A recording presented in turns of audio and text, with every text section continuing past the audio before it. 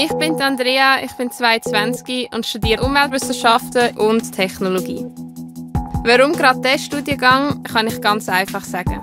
Die Naturwissenschaft in einem alltagsrelevanten Rahmen und die Schnittstelle zwischen der Forschung und der Technik ist genau das, was mich angesprochen hat. Ich bin Fan vom breit gefächerten Studium.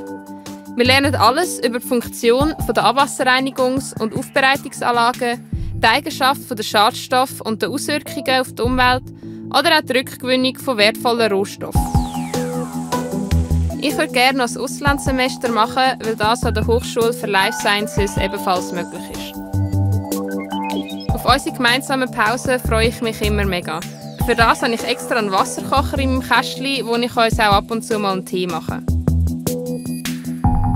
Weil wir in kleinen Klassen unterwegs sind, ermöglicht uns das einen unkomplizierteren Umgang mit den Dozierenden.